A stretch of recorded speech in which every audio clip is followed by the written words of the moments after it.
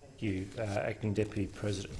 Uh, on the 5th of March, I was very pleased to visit uh, the Canberra Grammar School for the official opening of the Snow Centre for Education in the Asian Century.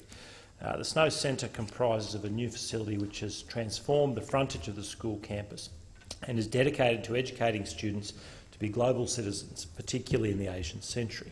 The building has 12 classrooms for the teaching of Asian languages, geography, history, economics and culture.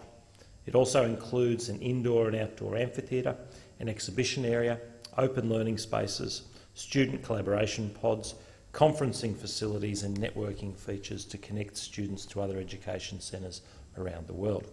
The centre will also work in close collaboration with other educational institutions, such as the Australian National University's College of Asia and the Pacific.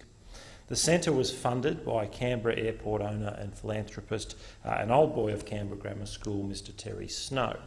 Uh, Mr Snow's $8 million gift to the school is one of the largest single donations to a school in Australian history and reflects his dedication to improving Canberra's culture and capacity for education.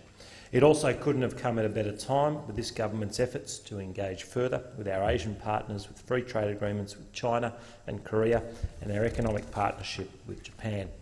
These agreements have the potential to unlock investment and trade in all manner of economic areas, and it's great that this centre exists to be able to train the next generation in, in preparation for this century.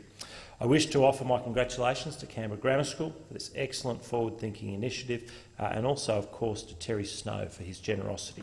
Uh, I look forward to seeing the students who study in this centre impact and influence uh, Canberra, Australia and our world.